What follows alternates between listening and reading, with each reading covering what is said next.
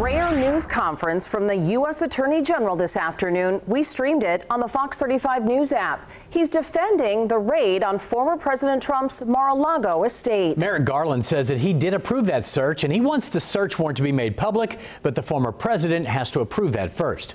Fox 35's Lauren Blanchard has the latest from Washington, D.C. today.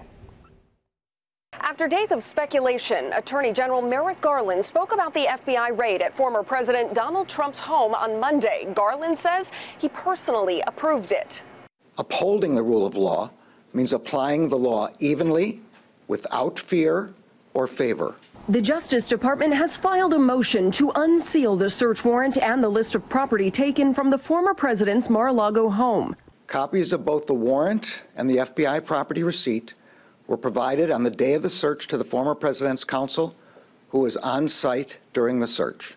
The Trump team could but has not released the information. The raid is believed to be connected to classified documents that were taken from the White House. Sources tell Fox the president's team complied with a subpoena to turn over sensitive documents this spring. But critics have been quick to say the raid is the DOJ being politically weaponized to derail a potential 2024 run. In a country like the United States of America, uh, people have constitutional protections, and if they want to trample over the Constitution, uh, we're going to be holding them accountable.